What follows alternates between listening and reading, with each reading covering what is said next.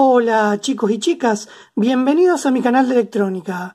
Hace unos días probé estas lámparas eh, de la marca Wiz que se controlan por medio de una aplicación a través de Wi-Fi donde funciona con Google Assistant, Alexa, Siri y demás. Yo le voy a dejar el video en la descripción. A una de las lámparas la tengo acá conectada.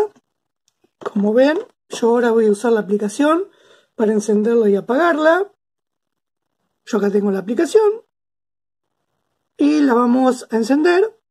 Como ven enciende y la vamos a apagar. Como ven apagó.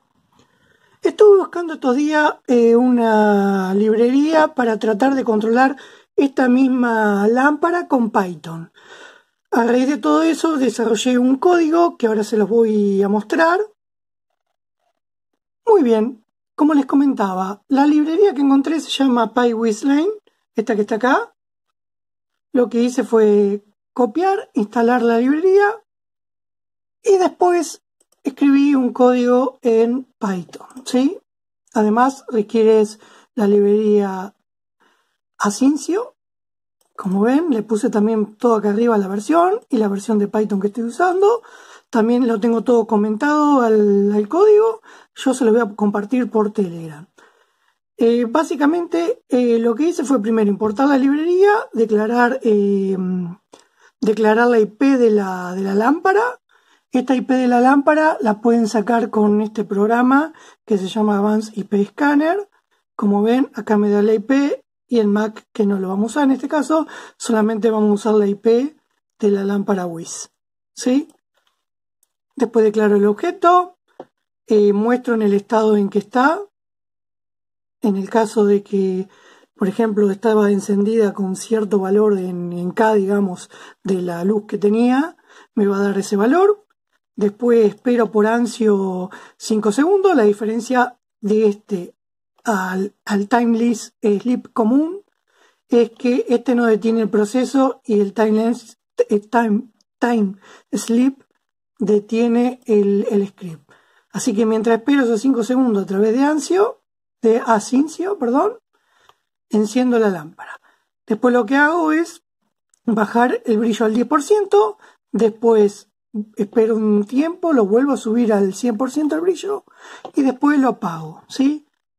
Vamos a ver cómo funciona. Yo acá lo voy a correr a este programa.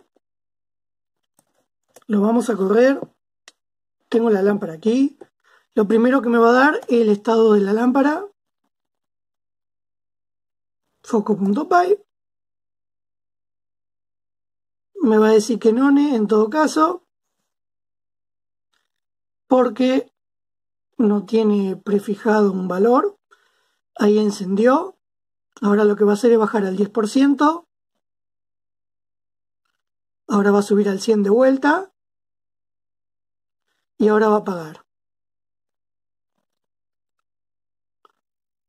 Eh, algo importante, quiero que vean cómo es que se comporta y cómo lo ve la, aplicación cuando nosotros ejecutamos desde Python la lámpara.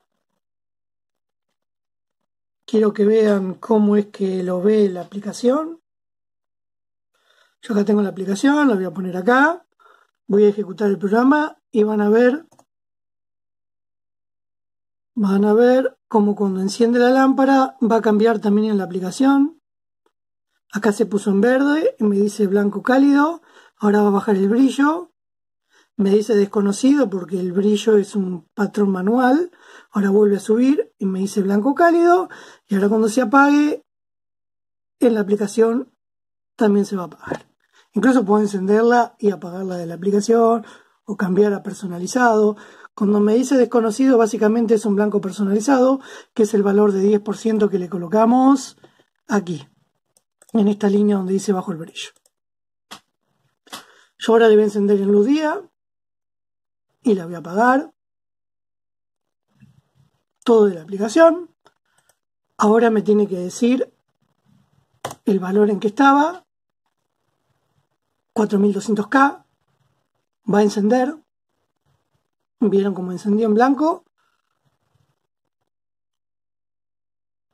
Ahí bajó el 10% la app me está dando todos los detalles. Ahí cambió a blanco cálido y ahora se va a apagar. Muy bien, espero que les haya gustado el video de hoy. Eh, canal de Telegram con el código en la descripción. Recuerden ver el video anterior que también va a estar en la descripción. Y nos vemos en el próximo video. Bye bye.